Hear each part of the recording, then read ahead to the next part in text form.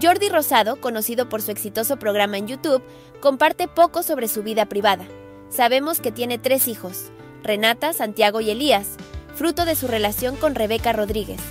A lo largo de los años, Jordi ha compartido varios aspectos de su vida personal, manteniéndose alejado de los escándalos. Elías Rosado, el primogénito de 18 años, ocupa un lugar especial en el corazón de Jordi. A través de mensajes en redes sociales, Jordi celebra su paternidad y los momentos significativos de la vida de Elías, especialmente en su cumpleaños número 15.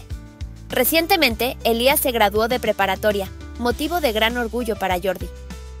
Regina y Santiago Rosado son los otros dos hijos que Jordi adora.